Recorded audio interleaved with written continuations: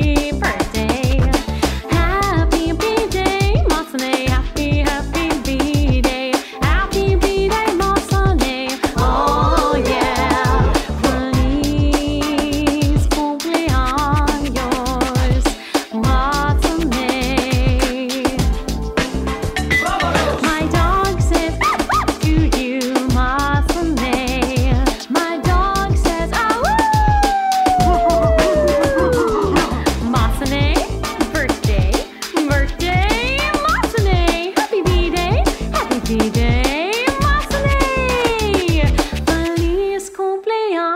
yours, Martha May, yeah.